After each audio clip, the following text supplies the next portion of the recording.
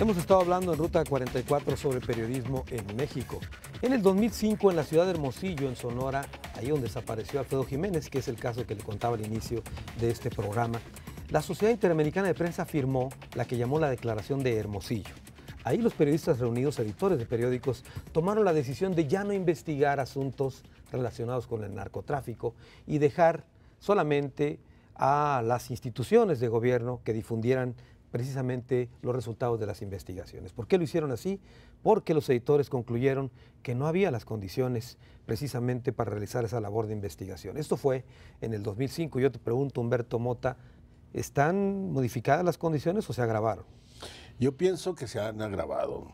En, en relación a lo que decías hace rato de eh, esos eh, periodistas que comentaba también Ulises, los periodistas que llegaban eh, con antelación a la, escena del crimen, etc. Yo pienso que es la misma situación de los, de los políticos que les gusta figurar, aparecer en, los medios cuando las cosas les favorecen. Este, y no aparecer cuando no les favorecen. Los narcos igualmente aparecen cuando son familias entre ellos, a ver quién gana y quién. Las narcomantas es, promoción de ellos mismos, los mensajes en, los este, cuerpos, en los decapitados, etc. Es lo mismo, ellos quieren publicidad. Eh, bueno, publicidad por decirle así. Este, ellos quieren promocionarse, pero obviamente no les conviene eh, que se descubran todos sus tejes, sus manejos, sus relaciones, sus redes, etcétera, etcétera. Humberto, dice Ulises que los medios son utilizados por el crimen organizado. ¿Hasta dónde somos parte responsable los medios?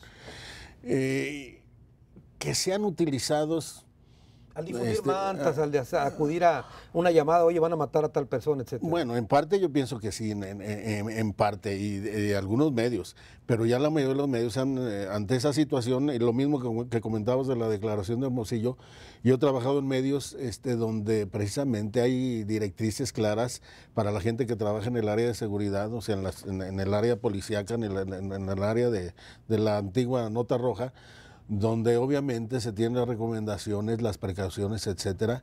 Y finalmente, este, eh, hasta dentro del mismo gremio, los periodistas buscan cuidarse en ese sentido y ya no eh, profundizar ni trabajar directamente eh, en, la investigación relacionada con el narcotráfico pero este, eh, obviamente sí hay una responsabilidad, pero digo, los medios ya han manejado muy bien sus, códigos de ética y los periodistas también, los, estamos hablando de los verdaderos periodistas, no aquellos que se dedican al chantaje, al, a, la nota este, vendida. vendida, etcétera, etcétera.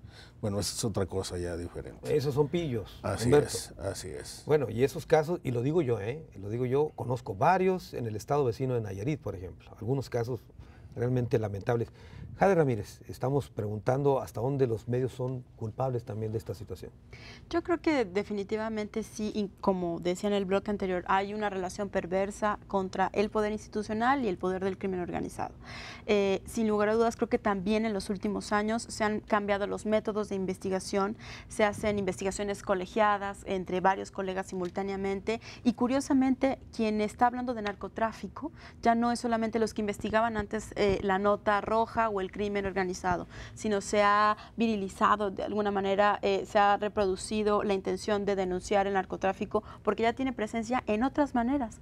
Hay eh, incluso una agenda donde se asocia el tema de medio ambiente y narcotráfico de manera muy fuerte en comunidades que están peleando como eh, contra los talamontes en Cherán, en la propia Sierra de Manatlán aquí en Jalisco, donde ya no solo es la venta de droga y el tráfico de armas, ya se han metido y permeado en otros rubros de la vida social afectando comunidades indígenas, pueblos rurales y las ciudades también.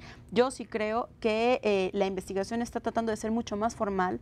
Una manera de autoprotegernos los periodistas de alguna manera es documentar mejor, hacer investigaciones de largo aliento y ya no solo la nota por la nota del cártel o del cartel que pone el cártel o eh, alguna nota que mandan entre uno y otro. Yo creo que publicarla.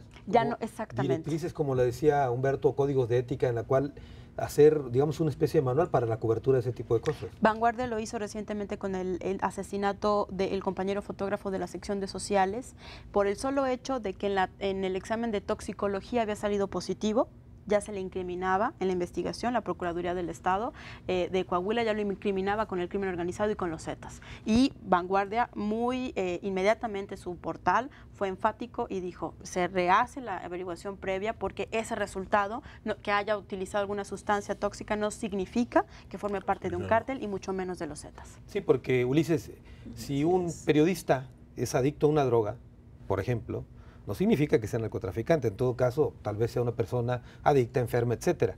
Y la fiscalía, en este caso que tú representas, tiene la obligación de brindar garantías para el ejercicio periodístico y no se pone a revisar las cuestiones morales, supongo. Así es, o sea, para la Procuraduría General de la República es simplemente es investigar el hecho y bueno, llegar hasta el, hasta el fondo.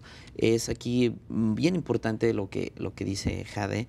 Este, yo creo que hoy en día desgraciadamente algunos medios de comunicación, y bueno, no estoy tratando de, curarme en salud ni para nada, pero entre, desgraciadamente el crimen organizado, entre más sádico sea, entre más sangriento sea, la nota es mucho más grande para ellos.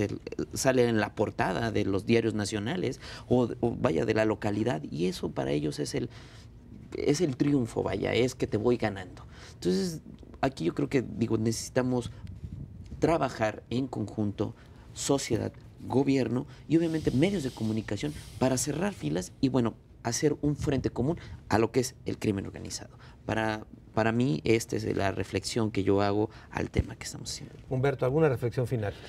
Eh, yo pienso que sí, eh, debemos de caminar en ese sentido. Caminar eh, en una relación más estrecha entre los diferentes sectores, pero siempre y cuando realmente de parte, sobre todo de las autoridades este, federales, estatales y municipales, realmente exista la voluntad de hacer las cosas. Sí, porque si no, si seguimos jugando, eso, por ejemplo, eh, eh, pensaba hace momentos la federalización de los delitos contra periodistas desde finales de los 70 del siglo pasado se estaba demandando y acaba de aprobarse apenas tipo de, el, marzo la reforma en el Senado, luego a que camine la, reforma del artículo 73, luego los reglamentos, Luego, y todavía faltan, todavía para que ya realmente la PGR y los ministerios públicos pues atraigan ya los casos este, de, manera, de manera formal. O sea que todavía no estamos en, actuando en ese sentido.